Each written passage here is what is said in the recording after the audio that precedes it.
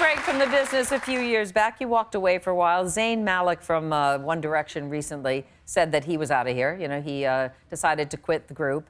What do you make of his decision, given what you did? You know, I remember I was doing Les Miserables on Broadway, and I had done album tour, album tour, album tour, Broadway. And I was like the most anxious 21 year old you've ever met in Yeah. your life. Um, and at the time, I was taking Xanax and I was taking Prozac. It's like, I, you know, at some, a certain point, you go, you have to be able to deal with your own life. Yeah. And if you can't, maybe it's time to restructure your life. And so I really applauded him for that Mm-hmm. decision because so many young kids get in trouble down the road from that moment where maybe they should have walked away. So I think to take some personal time and take a breath is never a bad idea. yeah, I respect him for knowing himself Yeah, because that's a tough especially decision. for a male, because Yep. I think women are, are usually typically a little more in tune with that stuff.